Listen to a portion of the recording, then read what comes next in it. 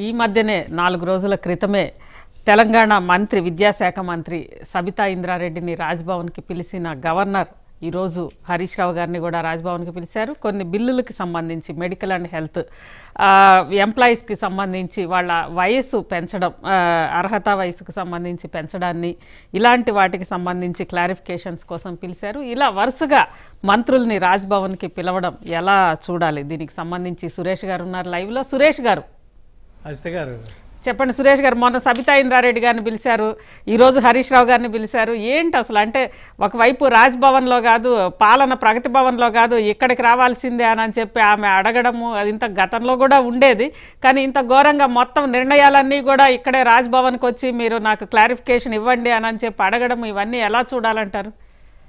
అస్తి గారు ఇది చాలా ఆసక్తికరమైన విషయం. ఏంటంటే రాజ్భవన్ తోటి మాటకు మాట అంటే మాటకు మాట అనే పద్ధతి నడుస్తుంది ఇప్పుడు.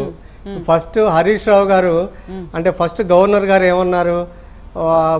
నా నా ఫోన్ కూడా ట్యాప్ అయిందని అనుమానాన్ని వ్యక్తం చేశారు. దాని మీద ఇమ్మీడియట్లీ హరీష్ రావు గారు మాట్లాడుతూ అందరికి పెగాసెస్ ద్వారా ఫోన్లో ట్యాపింగ్ దేశంలో ఎవరు పాల్పడుతున్నారో అందరూ తెలుసు. ఇది మేము ప్రత్యేకంగా చెప్పాల్సిన అవసరం లేదు. ఒక రాజ్యాంగ పదవిలో ఉన్న వాళ్ళు బాధ్యతాయుతంగా లేక గౌరవప్రదంగా మాట్లాడాలి రాజ్యాంగ హోదాలో ఉన్నవాళ్ళు ఏది పడితే అది మాట్లాడకూడదు అని చెప్పని కామెంట్ చేశారు. ఇటీవల ఇంకొక ఇంకో కామెంట్ చేశారు. ఏమన్నారు మన తమిళసాయి గారు గవర్నర్ గారు?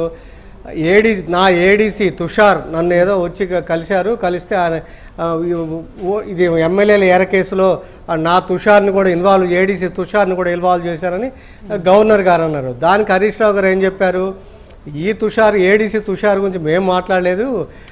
బీడీ బీడీజేఎస్ అంటే భారత్ ధర్మ జనసేన వయనాడులో రాహుల్ గాంధీ గారి మీద కంటెస్ట్ చేసిన ఆ తుషార్ గురించి మేము మాట్లాడాము. ఇవి ఇది చెప్పారు.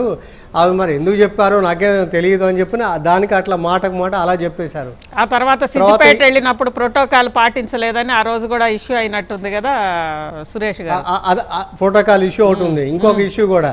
ఈ మధ్య మన నిమ్స్ డైరెక్టర్ మనోహర్ గారు మన ప్రైవేట్ ఆసుపత్రికి వెళ్ళి ఆయన చికిత్స చేయించుకున్నారు అప్పుడు దాని మీద గవర్నర్ గారు స్పందిస్తూ ప్రభుత్వ ఆసుపత్రుల్లో ఇన్ఫ్రాస్ట్రక్చర్ సరిగ్గా లేదని చెప్పి కామెంట్ చేశారు.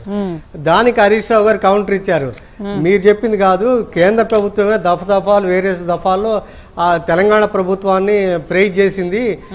ఇన్ఫాంట్ మోర్టాలిటీ తగ్గించడంలో కానీ లేకపోతే ఇష్యూస్ కానీ అవును. ప్రసూతి మర మరణాలని ప్రభుత్వ వైద్యశాలలో జరిపించడానికి అరవై శాతం వరకు పెంచడం కానీ ఇలాంటి వేరే సందర్భాల్లో మేము మమ్మల్ని తెలంగాణ ప్రైజ్ చేసింది తెలంగాణ కేంద్రం ప్రైజ్ చేసింది ఇది మేం చెప్పింది కాదు అని చెప్పని మాటకు మాట ఏదంటే అది చెప్పారు. ఇప్పుడు ఏమైంది మొన్న సెప్టెంబర్లో ఎనిమిది బిల్లులు అప్రూవ్ అసెంబ్లీలో ఎనిమిది బిల్లులు అప్రూవ్ చేశారు. అందులో ఎలాంటి వివాదం లేదు. జిఎస్టీకి సంబంధించిన ఒక బిల్లు ఉంది. ఆ బిల్లుకి మాత్రమే గవర్నర్ గారు ఇప్పటివరకు ఆమోదం తెలిపారు. ఇంకా ఏడు బిల్స్ గవర్నర్ గారి దగ్గర పెండింగ్ ఉన్నాయి. అందులో ఉమ్మడి బోర్డు యూనివర్సిటీలో ఉమ్మడి నియామకాలకు సంబంధించిన బోర్డు అనేది ఒకటి. నియామకానికి దాంట్లో లీగల్ సమస్యలు ఉన్నాయా ఏమున్నాయని సందేహాన్ని వ్యక్తం చేస్తూ ఇక ముందు ఏమన్నారు?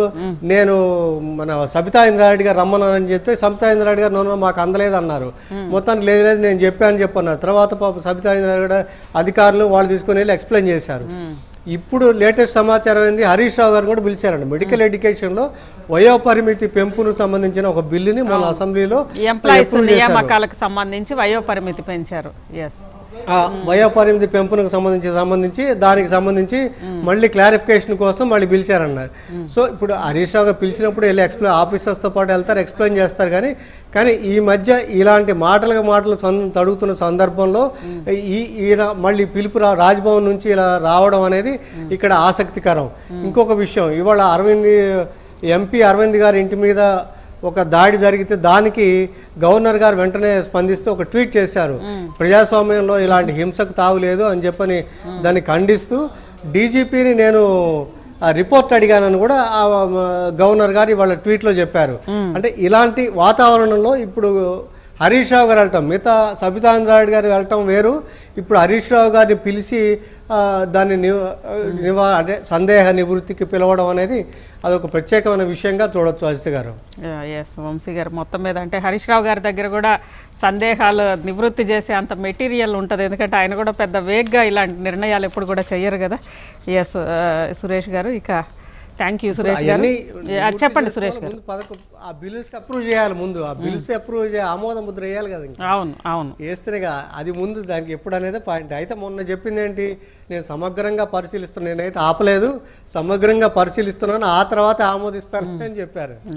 అది అజిత్ గారు. Thank you Suresh